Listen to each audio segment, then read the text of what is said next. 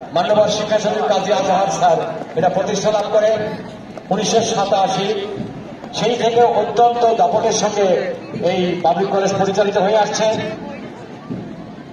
এই স্কুলেরই শিক্ষার্থী নাসার বিজ্ঞানী সহ বাংলাদেশের প্রতিটি ডিপার্টমেন্টে কর্মরত আছে পাবলিক কলেজ পশ্চিম টুনপাড়া মাধ্যমিক বালিকা মাধ্যমিক বিদ্যালয় খুলনা। উনিশশো চুরানব্বই সাল।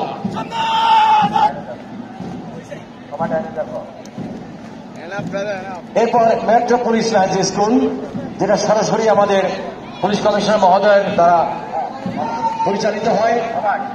অত্যন্ত সুন্দর পরিচ্ছন্ন।